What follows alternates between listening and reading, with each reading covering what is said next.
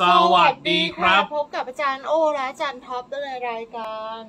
องค์เทพเสริมดวง วันนี้เราก็มานั่งคุยกันถึงเรื่องว่าคนมีองค์เนี่ยถ้าไม่สวดมนต์เนี่ยไม่นั่งสมาธิหรือไม่ปฏิบัติเนี่ย สุดท้ายแล้วเนี่ยก็สื่อกับองค์เทพไม่ได้ ถามว่าหลายคนมาถามผม เรื่องนี้หลายครั้งแล้ว ผมก็พยายามแจ้งบอกว่า ให้มีเวลาในการภาวนามั่ง มีเวลาในการสร้างบารมีมั่ง เพราะว่าถ้าไม่มีเวลาในการ ภาวนาหรือสร้างบารมีหรืออะไรก็ตามเนี่ยแหละนะมันมันลำบากมันยากครับผมเพราะว่าหนึ่งจิตมันไม่มีฐานพอไม่มีฐานเนี่ย มันทำการสื่อสื่อกับองค์เทพยากถามว่าสื่อเพราะอะไร มันไม่มีฐานนะจิตมันไม่มีฐานของการภาวนา คือมันไม่มีฐานของความ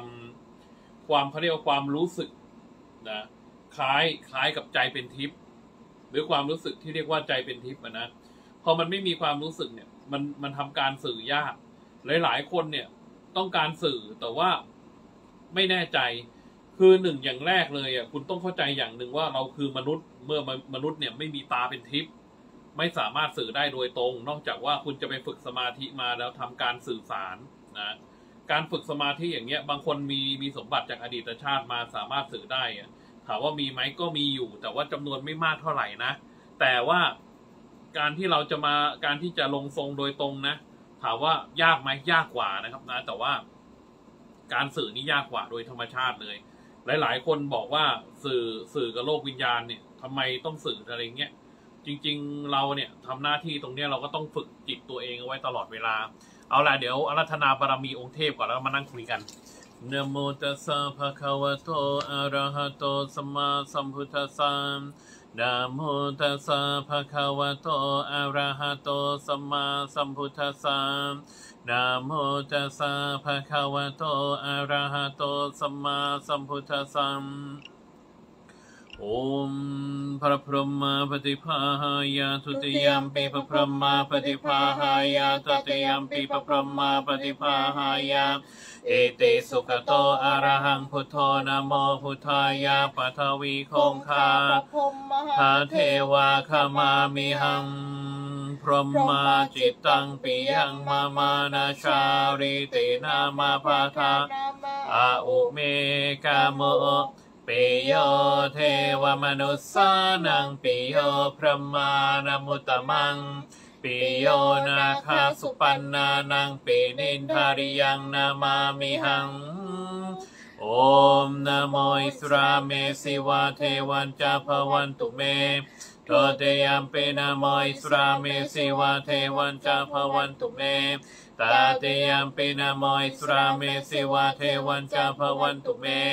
เอเตสุกโตอะระหังพุทโธนโมพุทธายามปัทวีคงคาอิสราเมสิวาเทวันจามหาเทวาคามามิหัง โอมนะโมพระพิคเนสิทธิประสิทธิเมมหาราโพโตเตยามปีนะโมพระพิคเนสิทธิประสิทธิเมมหาราโพตาเตยามปีนะโมพระพิคเนสิทธิประสิทธิเมมหาราโพโอมสีคเนสายานามหาโอมสีคเนสายานามหาโอมสีคเนสายานามหา Om Jai Mata Ki Thurakakari Piyang Mama Tatiyampi Om Jai Mata Ki Thurakakari Piyang Mama Tatiyampi Om Jai Mata Ki Thurakakari Piyang Mama การฝึกจิตอะหรือการตั้งจิตเพียรภาวนาเป็นสิ่งที่ยากยิ่ง เป็นสิ่งที่มนุษย์อะไม่ค่อยทำกัน เป็นสิ่งที่ยาก เพราะว่ามนุษย์เราเนี่ย ชินกับการเป็นมนุษย์ธรรมดา ชินกับการที่เรียกว่าปฏิบัติแบบธรรมดา การดูหนังละครฟ้อนลำเรื่องปกตินัจจกิตะวาดิกะวิสุกะดัสนานะการละครฟ้อนลำเพราะฉะนั้นอะองค์เทพเนี่ยคนเป็นเทพได้เนี่ยจะต้องมีศีลห้าและศีลแปดศีลแปดนี่ก็คือคนที่จ้องจะเป็นระดับอนาคามีขึ้นแล้วนะถึงจะเริ่มเป็นศีลแปดกันศีลแปดก็คือไม่ไม่รูปไร้แป้ง ไม่กินอาหารเย็นไม่นอนอาบนที่นอนอันสูงใหญ่นะ เพราะฉะนั้นอะศีศีลลใหญ่ห้าหนานุ่มด้วยหนานะนุ่มใช่ นั่นแหละคือคนที่จะเป็นระดับอนาคามีคือใกล้เป็นพระอรหันต์เพราะฉะนั้นอะ คนที่เป็นระดับอนาคามีเนี่ย จะถือยากขึ้นเรื่อยๆเรื่อยๆเรื่องปกติ ถามว่าเราเนี่ยเป็นมนุษย์ธรรมดาเนี่ยทำไมเราจะสื่อสารกับองค์เทพได้เนี่ย ถ้าเราเป็นคนที่ขี้เกียจสวดมนต์ภาวนาหรือขี้เกียจนั่งสมาธิเนี่ย จิตเรามันจะไม่ไม่ไม่เปิดขึ้น ไม่เปิดขึ้นนี่หมายถึงว่า มันไม่มีความอย่างรู้เกิดขึ้น จิตไม่เปิดขึ้นก็หมายถึงว่าจิตมันไม่นิ่งพอไม่นิ่งเสร็จแล้วเนี่ยไอสัญญาณต่างๆ เนี่ยที่เราต้องการสื่อสารต้องการอยากรู้อยากเห็นหรือต้องการอะไรเงี้ยมันจะไม่รู้ถามว่าไม่รู้เพราะอะไร เพราะว่าจิตมันมีนิวรณ์นิวรณ์คืออะไรรู้ไหมเขาบอกว่านิวรณ์เนี่ยมันจะเป็นศัตรูของคนที่ฝึกวิปัสสนากรรมฐาน คือความสงสัยหนึ่งความสงสัยหนึ่งจิตไม่สงบหนึ่งคิดสารพัดเรื่องหนึ่งเนี่ยเรียกว่านิวรณ์ สงสัยว่าเอ้ยนี่สิ่งนี้มันเป็นอย่างนี้อย่างนั้นอย่างโน้นอย่างนี้ จริง ๆ ต้องไม่สงสัย อย่างแรกที่ต้องไม่สงสัยก็คือบารมีของพุทธองค์โดยตรง ถ้าคุณไปสงสัยบารมีของพุทธองค์หรือว่าพุทธองค์มีจริงไหมบางคนบอกว่าพุทธเจ้าไม่มีจริงบางคนบอกพุทธเจ้ามีจริง แต่ว่าคนที่บอกว่าพุทธเจ้ามีจริงเนี่ย เพราะฉะนั้นอะไม่สงสัยซะดีกว่า ไม่สงสัยเพราะอะไรรู้ไหมเพราะว่าถ้าการสงสัยพระสัมมาสัมพุทธเจ้าเท่ากับเราไปปามาสปามาสบารมีของพระองค์ เพราะฉะนั้นบารมีของพุทธเจ้าหรือกระแสของพุทธเจ้าเนี่ยอยู่ตลอดเวลา ถ้าเราไม่ไม่สงสัยเนี่ย จะทำให้เราเนี่ยจิตเกิดง่ายสมาธิเกิดง่ายเอ่อการนึกถึงพระเจ้าเนี่ย ถือว่าเป็นเป็นเขาเรียกว่ากรรมฐานประเภทหนึ่งกรรมฐานก็คือกสินประเภทหนึ่งเป็นกสินที่ไม่มีภัยร้าย เพราะบารมีพุทธเจ้าเนี่ยเมื่อก่อนนี่เขาเคยบอกว่ามีเทพมีเทพบุตรที่ไปเกิดในชั้นยามาเนี่ย คือพ่อเป็นพราหมณ์ แล้วลูกแล้วลูกเนี่ยใกล้แบบไม่สบายใกล้จะตายแล้ว แต่พ่อเนี่ยเป็นคนขี้เหนียวเออประหยัดขี้เหนียว แต่สุดท้ายลูกอะ บอกว่าได้ยินว่าพระเมตตาของพุทธเจ้านั้นหาประมาณไม่ก็คือว่าไม่ได้คิดว่ารวยหรือจนหรืออย่างไรนะเพียงแต่ว่าระลึกนึกถึงท่านเนี่ยบารมีก็มาเต็มมาเต็มนี่หมายถึงว่าท่านก็ช่วยทุกคนนะตามหน้าที่ที่คือท่านช่วยทุกคนถามว่าตามหน้าที่ไหมไม่ใช่หน้าที่นะท่านพยายามดึงทุกคนนะไปในภพภูมิที่เรียกว่ามีมีมีมีความดีอยู่มากนะ พูดตรงๆเลยนะ บางทีพุทธเจ้าเนี่ยมาสอนธรรมทุกเทวดาเทพพรมเนี่ย ท่านบอกว่า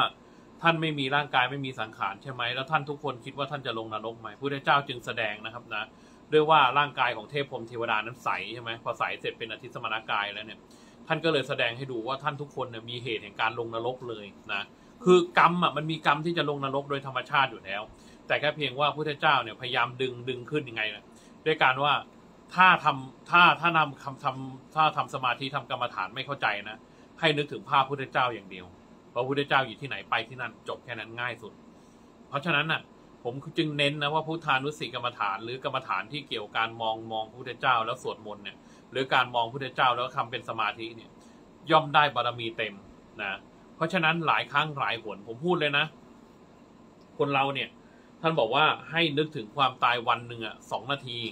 คิดว่าเราไม่มีญาติไม่มีพี่น้อง ไม่มีครอบครัวไม่มีอะไรเหลือเลย แล้วเราจะไปที่ไหน ถ้านึกถึงเมืองเมืองหนึ่งนะนึกถึงเมืองเมืองหนึ่งอันนี้จะไปอาจจะเป็นธรรมชั้นสูงก็ได้บางคนอาจจะไม่เข้าใจก็ได้แต่ว่าถ้านึกถึงเมืองเมืองหนึ่งแล้วเราก็คิดว่าพระเจ้าอยู่ที่นั่น เราจะตามไปที่นั่น เพราะฉะนั้นนะถ้าเราเหมือนกับว่าใจเต็มกำลังใจเต็มในที่นี้ก็คือ ไม่สงสัยว่ามีจริงหรือไม่มีจริง ไม่สงสัยว่าบารมีพุทธเจ้ามีขนาดไหน เพียงแต่ว่าพุทโธประมาณโนธรรมโมประมาณโน สังโฆประมาณโน คือบารมีพุทธเจ้าไม่มีที่สิ้นสุดไม่มีที่ประมาณ เพราะฉะนั้นน่ะ ภาพแค่ภาพธรรมดาเนี่ยก็สว่างแล้วผมพูดตรงๆเลยนะแค่ภาพธรรมดาก็สว่าง เพราะว่าภาพพระทุกประเภทเนี่ยมีบารมีทั้งหมด ไม่ว่าจะเป็นพระที่เข้าพิธีปลุกเสกหรือไม่ได้ปลุกเสกเนี่ย ปฏิทินก็ตามทุกอย่างเลยนะมีกำลังหมดถามว่ามีกำลังไง มีกำลังใจทำให้คนนั้นน่ะทำให้คนนั้นน่ะ ไม่หลงทาง ปฏิทินอะไร ปฏิทินรูปพระอะไรอย่างเงี้ยอ๋อที่เป็นรูปพุทธชินราช รูปสมเด็จองค์ปฐมรูปพระปัจเจกพุทธเจ้า รูปอะไรก็ตามเนี่ย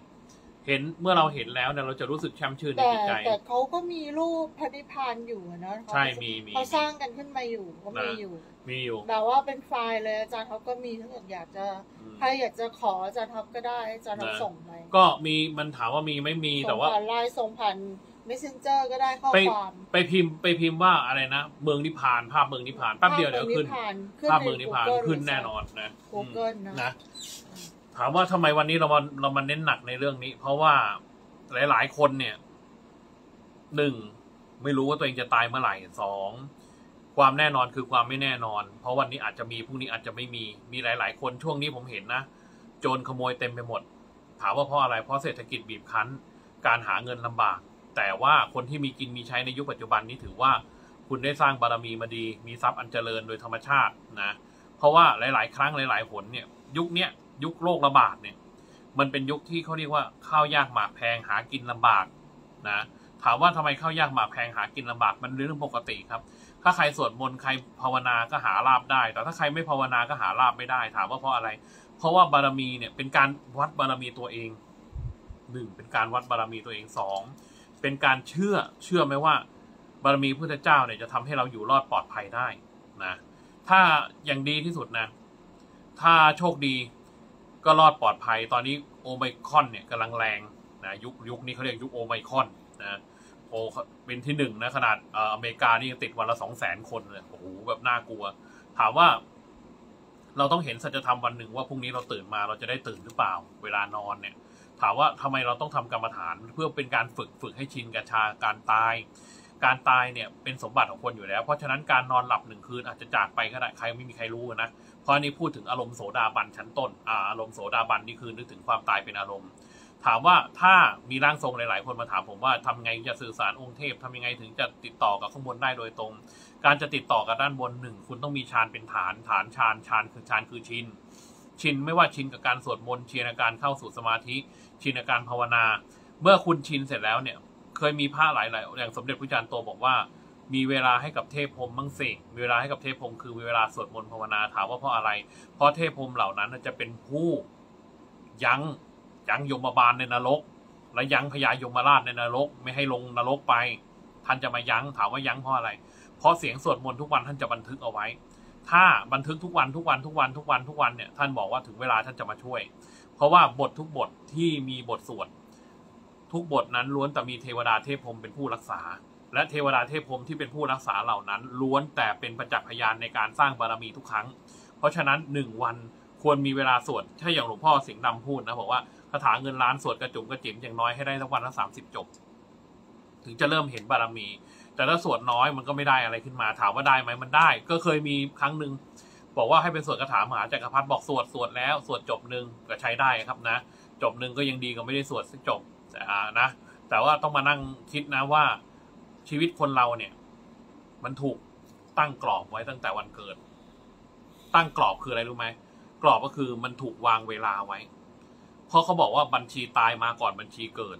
บัญชีตายเนี่ยมันมีอยู่แล้วนะมีกันทุกคนนะก่อนก่อนจะกอนก่อนจะเกิดจากท้องแม่เนี่ยทุกคนถูกกาหนดวันตายไว้แล้ว แต่แค่เพียงว่าเราไม่รู้ว่าวันตายเนี่ย ตัวตัวพวกเรานะที่มาเป็นมนุษย์เนี่ย มันไม่ได้มีที่ประจักษ์ขุยานสามารถที่จะมองเห็นถึงขั้นแบบว่าเฮ้ยวันตายวันนี้วันนี้วันนี้เท่านี้เท่านี้ทีนี้ได้ แต่รู้แค่เพียงว่าการที่พระพุทธเจ้ามามามามาสอนว่าไม่ให้ตั้งตนบนความประมาทในที่นี้คือมีศีลห้าบริสุทธิ์ปฏิเสธการเกิดทุกชนิดรักพระนิพพานเป็นอารมณ์เคารพพระรัตนตรัยต่อหน้าและรับหลังนะ และข้อพิเศษก็คือปฏิเสธการเกิดเนี่ยต้องเป็นข้อพิเศษและอย่างหนึ่ง นึกถึงพระนิพพานเป็นอารมณ์บ่อยๆ ในที่นี้ก็คือว่า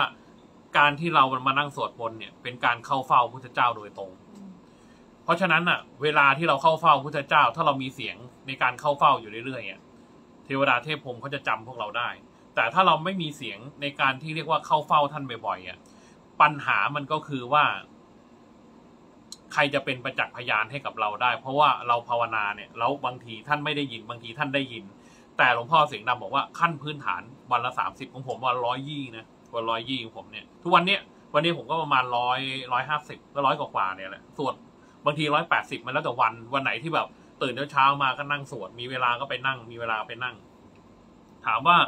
ไปนั่งหลับตาบางทีเราเราก็หลับเอาพูดตรงๆนะ แต่ถ้านั่งลืมตาแล้วก็สวดไปแล้วมีความเพลิดเพลินขณะที่สวดนึกก็นึกถึงภาพ ภาพพระพุทธเจ้าขึ้นมาเนี่ย อันนี้เขาเรียกว่าจิตยึดยึดติดกับพุทธพุทธานุสิกกรรมฐาน เพราะว่าพุทพุทธานุสิกกรรมฐานเนี่ยมันจะทำให้เราเนี่ย มีกำลังใจนะความทุกข์มันมีล้นโลก เชื่อผมอย่างหนึ่งเถอะ ผมมาเข้าห้องกรรมฐานนะอันนี้เอาเอาเรื่องห้องกรรมฐานมา ไม่ได้เอาเรื่องนะเอาเป็นแบบว่าได้ยินได้ฟังมานะว่าลองถามดูสิถามใจเราว่า คุยกับหมอหมอไม่สามารถช่วยเราได้ เราแก่มากเราอายุแปดสิบเก้าสิบแล้ว สายระยงระยางเต็มตัวเลยให้พยาบาลฉีดยาให้กระตุ้นให้เราฟื้น เราไม่ไหวกำลังเราไม่มีลุกไม่ออกนะปวดท้องก็ปวดอย่างเงี้ยนะถ้าเราไม่ฝึกกรรมฐานเราไม่หัดอะไรเลยอะแล้วเราแก่แล้วอะ แล้วเราจะอยู่ยังไงอะถามนะถามตรงนั้นนะ คนที่ผูกคอตายบ่อยๆผมบอกเลยนะ คนแก่ที่ผูกคอตายบ่อยๆเพราะหนึ่งเขาไม่เคยฝึกกรรมฐานเขาถึง ผูกคอตายเพราะอะไร เพราะเขาไม่หนึ่งไม่มีเงินรักษาตัวเองสองไม่สามารถที่จะอดทนต่อความเจ็บปวดที่เกิดขึ้นได้ แต่ถ้าคนที่สวดมนต์ภาวนาถึงเวลาก็นั่งสวดมนต์อย่างเงี้ย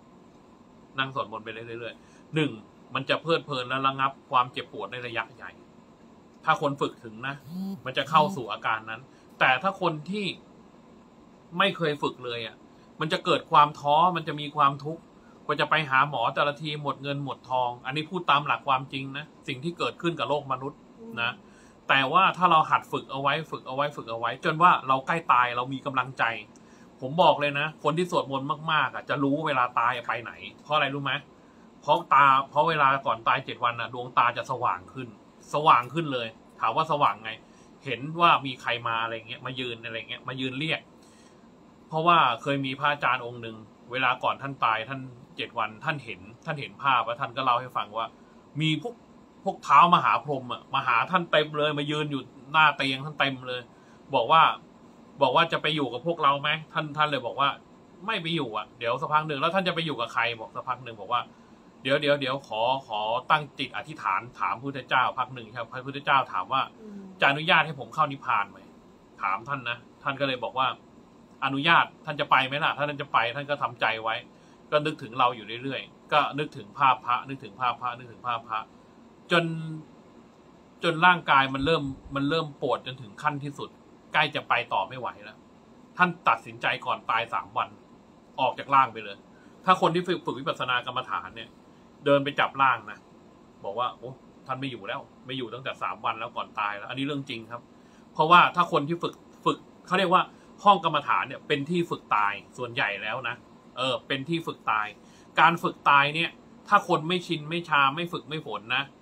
เวลาตายมันจะทรมาน แต่ถ้าคนที่ชินชานะเขาเหมือนหลับไปเขาเหมือนหลับไป แต่เขาไม่อยู่แล้วเอาตรงๆเลย คือจิตเขาไปแล้วไปตั้งแต่สามวันก่อนนะอันนี้ถามว่ารู้ได้ยังไง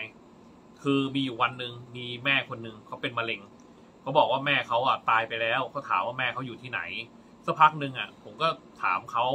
เขาก็นั่งอยู่มามามาเป็นภาพแก้วนะใสนะแล้วก็ถามว่าไปอยู่ที่ไหนเขาบอกอยู่ข้างบนนู่นแหละบอกงี้ หลวงพ่อมารับไปบอกงี้ ผมก็เลยถามต่อว่าแล้วถามหน่อยเถอะ ตายก่อนเวลาใช่ไหมแกบอกใช่รู้ได้ยังไงสามวันก่อนเวลาบอกงี้ ก็ใจผมความรู้สึกมันบอก บอกงี้เขาบอกใช่ถูกต้อง บอกงี้หลวงพ่อมาตามตั้งแต่ก่อนวันที่สองวันที่รู้สึกปวดมากๆ แล้วก็ตัดสินใจหลวงพ่อตัดสินใจถามว่าจะไปกับพ่อหรือยัง บอกว่าท่านก็เลยท่านเลยบอกว่าไป ผู้หญิงคนนี้เป็นมะเร็งนะ อายุมันเจ็ดสิบกว่าเจ็ดสิบเกือบแปดสิบแล้วเรื่องเนี้ย เรื่องจริง เรื่องจริงขึ้นกับอะไรมาตัวผมผมถามแกว่าไปไหน แกบอกคือ เอาเลยว่าไปไปในภพภูมิที่ไม่กลับมาเกิดแล้วผมไม่เคยคิดเลยนะว่า ตัวเองจะสามารถสื่อสารกับคนนั้นได้ ตอนแรกก็ไม่คิดว่าสื่อสารได้ แต่พอสื่อสารได้เนี่ย มันรู้สึกว่า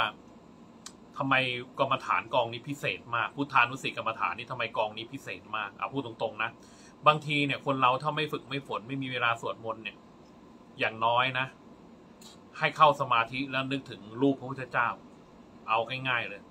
ง่าย ๆ เลยนะ ให้นึกถึงรูปพุทธเจ้านะแล้วท่องพุทโธพุทโธอะไรก็ได้นะ แล้วนึกถึงพุทธเจ้า แค่เนี้ย ถ้าคุณทำจนเขาเรียกว่าเกิดฌานฌานคือชิน แล้วจิตมันรู้สึกสบายนะ แล้วมันคลายตัวมันไม่เครียดนะ ถ้าคุณทำถึงที่สุดนะ จิตมันจะจิตมันจะอย่างรู้ขึ้นมาทันที ถามว่าอย่างรู้ด้วยอำนาจอะไรอำนาจที่ประจักษ์ขูญาณนี้เป็นของพระพุทธเจ้าโดยตรงไม่ใช่ของเรา ถามว่าพระพุทธเจ้าเนี่ยสิ้นไปสองสองพันห้าร้อยหกสิบสี่ปีเนี่ยท่านสิ้นไปจริงไหมสิ้นจริง แต่กระแสจิต และกระแสบุญของท่านนะยังอยู่ในโลกนะไม่ได้ไปด้วย คือบุญนะที่สร้างมามันยังอยู่ มันยังไม่ได้ไปไหนเลย แต่ว่าคนร่างกายไม่มีไม่เป็นไร แต่ว่าสังขารรูปเทวไม่ว่าเป็นรูปปั้นที่อยู่ตามโบสถ์ตามโบสถ์ตามวัดตามอะไรต่าง ๆ เนี่ย ยังมีพลังงานอยู่ทั้งหมดเลยนะแต่ว่าความเชื่อมั่นของคนนะคือสิ่งที่สำคัญที่สุดนะเอาละสำหรับรายการในรอบนี้ท่านอาจารย์โอ้ผู้เป็นประธานก็ได้เป็นวิทยากรอธิบายได้ถูกต้องไว้หมดแล้ว นะครับ ติดต่อดูดวงแบบเป็นส่วนตัวได้ที่ท่านอาจารย์โอ้ผู้มาเป็นประธานได้ที่ค่ะ Facebook ชอบกดไลค์ใช่กดแชร์ขอบพระคุณมากนะคะ สนใจบูชาเครื่องรางของขลังเทวรูปอืมเทพ พรหมเทวดา เครื่องรางของขลัง วัตถุมงคลต่างๆ และศิลป์ครูค่ะ ติดต่อได้นะคะ ที่ Facebook ครับโอสิริกรอภิรัตน์ครับเบอร์โทร 0 0 9 2 5 9 2 9 2 6 1 ID รายโอสิริ15 ตามนี้ครับ แล้วผมครับ Facebook ครับ อาจารย์ท็อปนะเมตราเบอร์โทร 0 8 4 9 2 6 6 6 5 8 ID ราย AJ TOP 16เอาละครับนะสำหรับรายการในรอบนี้ก็ไปแล้วนะครับนะ สวัสดีครับ